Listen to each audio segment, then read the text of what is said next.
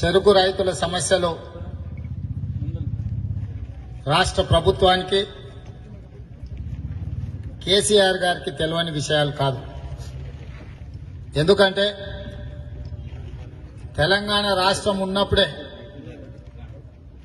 ఉమ్మడి రాష్ట్రంలో Nizam sugar factory Jagtial Bodhan చాలా ప్రాంతాలలో చెరుకు పండిస్తుంటే ఆనాడు ఉన్న ఫ్యాక్టరీని ప్రైవేట్ యాజమాన్యంలో నడుస్తున్నప్పుడు పూర్తిగా తెలంగాణ ప్రభుత్వమే స్వాధీనం చేసుకొని ఆ ఫ్యాక్టరీని నడపాలని చాలా సందర్భాలలో కేసీఆర్ గారు మాట్లాడి రెండు వేల పద్నాలుగు పార్లమెంట్ ఎన్నికల సందర్భంగా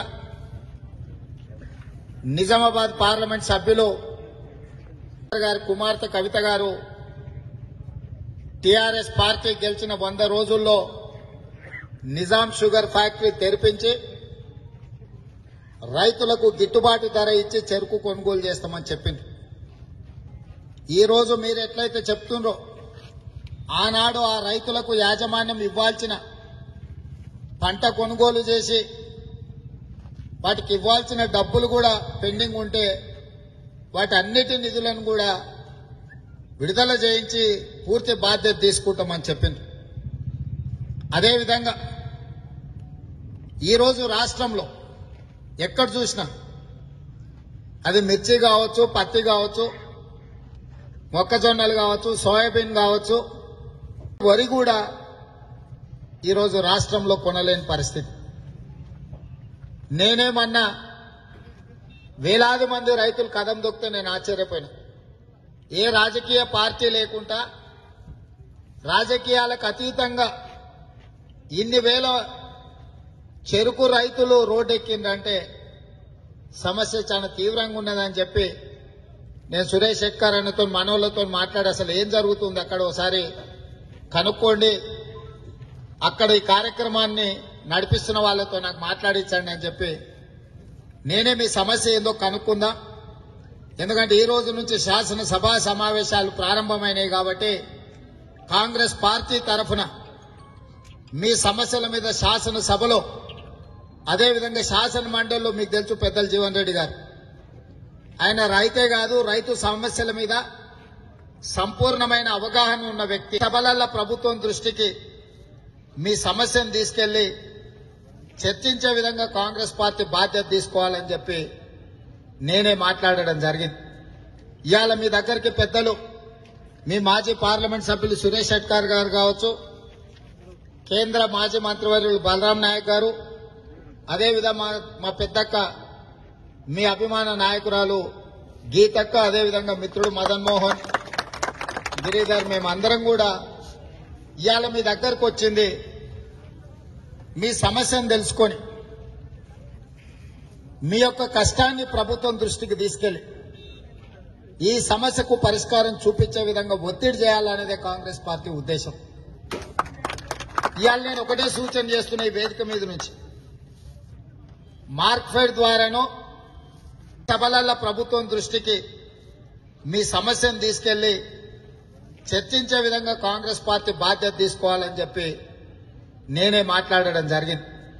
ఇవాళ మీ దగ్గరికి పెద్దలు మీ మాజీ పార్లమెంట్ సభ్యులు సురేష్ షెట్కార్ గారు కావచ్చు కేంద్ర మాజీ మంత్రివర్యులు బలరాం నాయక్ గారు అదేవిధంగా మా- మా పెద్దక్క మీ అభిమాన నాయకురాలు గీతక్క అదేవిధంగా మిత్రుడు మదన్ మోహన్ గిరిధర్ మేమందరం కూడా ఇవాళ మీ దగ్గరకు వచ్చింది.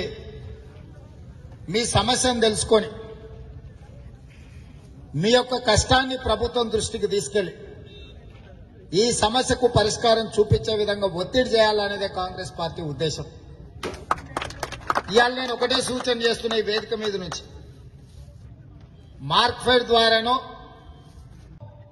ఇక్కడున్న రైతులకు కూడా నేను విజ్ఞప్తి చేస్తున్నా. తెలంగాణ రాష్ట్రం వచ్చినప్పుడు మన అప్పు అరవై తొమ్మిది వేల కోట్లే. అరవై ఐదు సంవత్సరాలు ఏలిన కాంగ్రెస్ తెలుగుదేశం పార్టీ ప్రభుత్వాలు కలిసి చేసిన అభివృద్ధితో పాటు చేసిన అప్పు అరవై తొమ్మిది వేల కోట్లు. ఈ ఏడేళ్ళలో కేసీఆర్ నాలుగు లక్షల కోట్ల రూపాయల అప్పు తెచ్చింది దాదాపుగా ఒక పది లక్షల కోట్ల రూపాయల బడ్జెట్ ఎనిమిది బడ్జెట్లు ప్రజల నుంచి వచ్చిన ఆదాయము ఒక పది లక్షల కోట్ల పైన వచ్చింది. కేసీఆర్ ముఖ్యమంత్రి అయినాక పదిహేను లక్షల కోట్ల రూపాయలు ప్రభుత్వానికి ఆదాయం వచ్చింది అప్పులు అనుకో ఆదాయం అనుకో కేసీఆర్ చేతులకు ఈ ఎనిమిదేళ్ళల్లా పదిహేను లక్షల కోట్ల రూపాయలు కేసీఆర్ చేతులకు వచ్చినాయి. ఇవాళ రైతు జేబులకి నూరు రూపాయలు రాలేదు మరి పదిహేను లక్షల కోట్ల రూపాయలు ఏ కాంట్రాక్టర్ల దగ్గరకు పోయినాయి ఏ ప్రజాప్రతినిధుల దగ్గరకు పోయినాయి ఏ ముఖ్యమంత్రి ఇంటికి పోయినాయి ఏ గడీలు నిండినాయి గరిసెలు నిండినాయి ఒక్కసారి ఆలోచన చేయండి. కాబట్టి ఇవాళ ముఖ్యమంత్రి గారు బేసజాలకు వెళ్ళాల్సిన పని లేదు. ఈ ప్రాంతంలో ఉన్న ఎమ్మెల్యేకు ఒకవేళ అవగాహన లేకపోతే ఓ ఇద్దరు ఐఏఎస్ ఆఫీసర్లను బప్పు చెరుకు రైతుల దగ్గర కూర్చోబెట్టి మాట్లాడు. ఈ సమస్య పరిష్కారం కాదు కాదు సులువైన సమస్య. ఈ ప్రాంతంలో చెరుకు పంట వచ్చే టైంలో ప్రభుత్వమే అధికారులను పెట్టి ఎంఆర్ఓలను ఆర్టీఓలను పెట్టి ఒక నాలుగైదు కొనుగోలు కేంద్రాలు ఏర్పాటు చేసి రైతు గిట్టుబాటు ధర ఇచ్చి ప్రభుత్వం ఆ పంటను కొని చుట్టుముట్టు రాష్ట్రాలలో ఉన్న ఫ్యాక్టరీలతో మాట్లాడి రవాణా ఏర్పాటు చేసి ఈ చెరుకును అక్కడికి పంపించవచ్చు. ఇదేం పెద్ద శాతగాంధీ లేకపోతే చెయ్యలేని పని కాదు. కేవలం చెయ్యాలన్న చిత్తశుద్ధి రాష్ట్ర ప్రభుత్వానికి లేకపోవడం వల్ల జగిత్యాల బోధన నుంచి మొదలు పెడితే జహీరాబాద్ వరకు ఈ పట్టి పట్టి మొత్తం మొత్తం చెరుకు రైతులను ఇవాళ వాళ్ళ జీవితాలను అప్లపాలు చేస్తున్నారు ఆ ప్రాంతంలో ఇట్లనే పదేళ్ళ నుంచి చెరుకు ఫ్యాక్టరీలు తెరవకపోవడం వల్ల కొంచెంగా కొంచెంగా తగ్గుకుంటూ తగ్గుకుంటూ వచ్చి అందరూ ఒరిదికి పోయి ఇలా చెరుకేష్టం లేకుండా పోయారు ఇవాళ ప్రభుత్వం కుట్ర చేస్తుంది. చెరుకు వండించే రైతులను తగ్గించడం కోసమే చెరుకు వండించే రైతుల యొక్క ఆదాయానికి గండి కొట్టడానికే చెరుకు కొనకుండా ఫ్యాక్టరీలు తెరవకుండా ప్రభుత్వమే కుట్ర చేస్తుంది. ప్రైవేటు వ్యక్తులు కొనలేనప్పుడు ప్రభుత్వమే గిట్టుబాటు ధర ఇచ్చి కొని ఎక్కడ కొనుక్కుంటే అక్కడికి పంపి ఒకవేళ ప్రభుత్వానికి నష్టం వస్తే ఇంటికెళ్ళి లేదు కదా. కేసీఆర్ ఫామ్ హౌస్ అమ్మేది లేదు. నేను సబ్సిడీలు ఇచ్చిన నేను రైతు బంద్ ఇచ్చినా రైతు రుణమాఫీ చేసిన అంటు ఇవన్నీ ఎందుకు? పండించిన పంట గిట్టుబాటు ధరిస్తే నువ్వు నువ్వు దానం వేయాల్సిన బిచ్చం వేయాల్సిన అవసరం లేదు కదా. వేల కోట్ల రూపాయలు మీరు ఖర్చు పెడుతున్నారు. ఇవాళ జైరాబాద్ లా ఈ చెరుకు రైతులు ఏమడుగుతున్నారు ఓ వంద కోట్ల రూపాయలు రివాల్వింగ్ ఫండ్ ఇస్తే ఈ ఫ్యాక్టరీని తెరిపించి ఫ్యాక్టరీని ప్రభుత్వ అధికారుల పర్యవేక్షణలో మీరు నడిపిస్తే రైతులే సహకరించి నడుపుకుంటారు కదా. ఇవాళ నిజాం షుగర్ ఫ్యాక్టరీ నడపవే అంటే ప్రభుత్వంతో కాదు ప్రైవేట్ వాళ్ళు నడుపుకుంటూ ఇస్తా అంటాడు. ఒక నిజాం షుగర్ ఫ్యాక్టరీ నడపలేనోడు రాష్ట్ర ప్రభుత్వాన్ని ఎట్లా నడుపుతాడో మీరు ఒక్కసారి ఆలోచన చేయండి. ఇవాళ ఈ జైరాబాద్ ప్రాంతంలో రైతులు పండించిన చెరుకు పంటను ఎనిమిది నుంచి పది లక్షల ఎకరాలు మహా అంటే ఈ ప్రాంతంలో రైతులు పండించే చెరుకు పంట ఈ ప్రాంత భూమి. ఎనిమిది పది లక్షల ఎకరాలలో పండించిన పంటనే కొనుగోలు చేయలేనప్పుడు కోటి ఎకరాలకు నీళ్ళు ఇస్తా కోటి ఎకరాలలో పంట పండిస్తాను కేసీఆర్ అంటుండు కదా. కోటి ఎకరాలలో పండించిన పంట మరి తీసుకుపోయి ఎవరికి అమ్ముతావు? ఎవడు కొనాలి? ఎవడు చావాలి? అంటే మీరు ఎవరికైనా ఇవ్వండి. మాకేం అభ్యంతరం లేదు. మీరు గుళ్ళు కట్టుకోండి గడీలు నిర్మించుకోండి రైతులకేం అభ్యంతరం లేదు. రైతుల పట్ల నువ్వు రైతుల కోసమే లక్షా యాభై వేల కోట్ల రూపాయలతోని కాళేశ్వరం ప్రాజెక్టు కడుతున్నా రైతులకు నీళ్ళు ఇస్తా అని కేసీఆర్ అంటున్నాడు. నేను సూటిగా ఈ రైతుల ద్వారా కేసీఆర్ గారిని అడుగుతున్నా ఒక లక్ష యాభై వేల కోట్ల రూపాయలు పెట్టి నువ్వు కాళేశ్వరం ప్రాజెక్టు కట్టి రైతులకు నీళ్ళు ఇస్తే రైతు తాలిపూస్తలు అమ్మి పెట్టుబడి పెట్టి పంట పండిస్తే నువ్వు ఎవరిని కొనకపోతే ఎవరికి కావాలి? ఈ ప్రాజెక్టుల నిర్మాణం ఎవరి కోసం? రైతుల కోసమైనప్పుడు రైతు కష్టపడి పండించిన పంటనే కొననప్పుడు నువ్వు ప్రాజెక్టులు కట్టి ఎవరి ఎవరి ప్రయోజనం కోసము? ఏ కాంట్రాక్టర్ల కోసము? ఏ కమిషన్ల కోసము?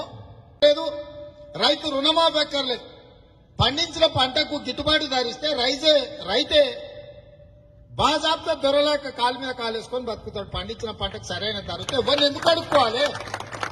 నువ్వు పిచ్చం వేయాల్సిన అవసరం లేదు నీ పిచ్చం కోసం ఎవడు ఎదురు చూస్తలేడు.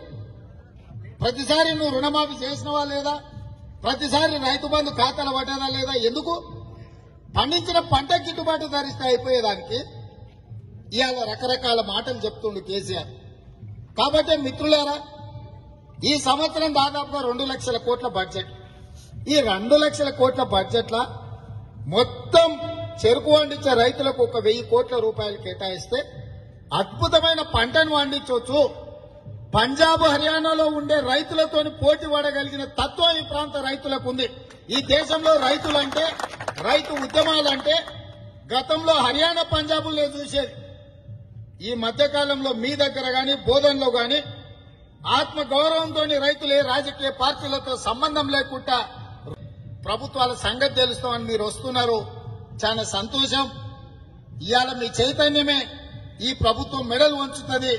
ఇవాళ రైతుల చైతన్యం రావాల్సిన అవసరం ఉన్నది. నేను కేసీఆర్ గారిని డిమాండ్ చేస్తున్నా. కాళేశ్వరానికి లక్ష యాభై వేల కోట్లు పాలమూరు రంగారెడ్డిలో అరవై వేల కోట్లు ఇతర ప్రాజెక్టులకు ఇంకొక యాభై వేల కోట్లు రెండున్నర మూడు లక్షల కోట్ల రూపాయలు ఖర్చు పెట్టి కోటి ఎకరాలకు నీళ్ళు ఇస్తా అంటున్నావు. నువ్వు నీళ్ళు ఇచ్చుడు సంగతి దేవుడెరుగు మూడు లక్షల కోట్లు ఖర్చు పెట్టుడు సంగతిగా. దాని వివరాలు ఎందుకు? కానీ నేను అడిగేది ఓ రెండు మూడు వేల కోట్ల రూపాయలు పెట్టి ఈ క్రాప్ ఇవాళ ఒడ్లు కొనమన్నారు.